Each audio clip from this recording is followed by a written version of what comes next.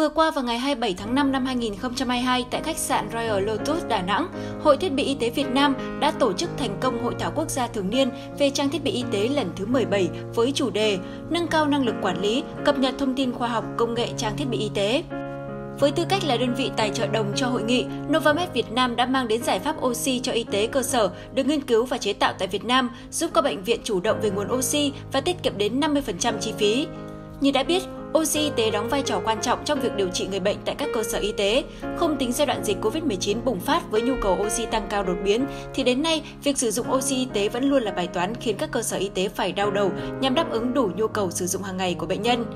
Theo ghi nhận, hiện nay các bệnh viện trong nước vẫn đang chủ yếu cung cấp oxy qua các hệ thống oxy hóa lỏng và bình oxy nén. Sự phân bố không đều nguồn cung ứng oxy giữa các tỉnh, các vùng miền, nhất là có sự chênh lệch giữa các tỉnh thành lớn với các vùng sâu vùng xa còn rất lớn. Điều đó khiến nguồn cung không ổn định, chi phí tăng cũng như nguy cơ ảnh hưởng đến sức khỏe người bệnh. Thấu hiểu được những khó khăn của các đơn vị y tế cũng như với sứ mệnh tiên phong trong đổi mới sáng tạo và ứng dụng công nghệ để đưa ra các giải pháp và dịch vụ y tế thông minh, Novamed Việt Nam đã nghiên cứu và thiết kế dòng sản phẩm máy tạo oxy cho cơ sở y tế C-System với những đặc tính phù hợp cho hệ thống y tế Việt Nam. Giải pháp này của Novamed được đánh giá sẽ giúp giảm giá thành oxy y tế, đồng thời thuận tiện hơn trong việc vận hành, bảo trì và bảo dưỡng. Về kỹ thuật, giải pháp Nova OCC System sử dụng công nghệ PSA, công nghệ sàng hấp thụ phân tử chuyển đổi áp suất, hoạt động bằng cách lấy không khí từ môi trường, đưa qua hệ thống và lọc loại đi những không khí mong muốn để cung cấp lưu lượng khí tinh khiết với nồng độ cao lên tới 93 cộng trừ 3%, phù hợp với dược điển châu Âu, dược điển Mỹ cũng như tiêu chuẩn quốc gia TCVN 7742-2007, ISO 10083-2006 về hệ thống làm giàu oxy để sử dụng với hệ thống ống dẫn khí y tế. Theo đó, mỗi đơn nguyên Si System có công suất tạo oxy 3 mét khối oxy trên một phút, tương đương 12 bình oxy cao áp cỡ lớn một ngày. Với mức sản xuất này, các cơ sở y tế có thể chủ động được nguồn oxy điều trị cho người bệnh, đảm bảo được mục tiêu không thiếu hụt oxy.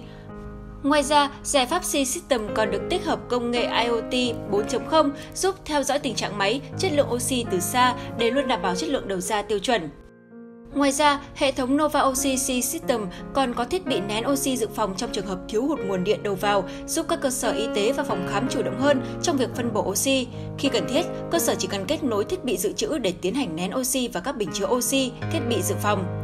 Theo khảo sát thực tế, việc cung ứng sử dụng oxy tại một số cơ sở y tế tuyến huyện cho thấy mức chi phí của giải pháp tạo oxy từ khí trời bằng công nghệ PSA của Novamed Việt Nam có thể giúp tiết kiệm chi phí lên đến 50% so với việc sử dụng bình oxy nén.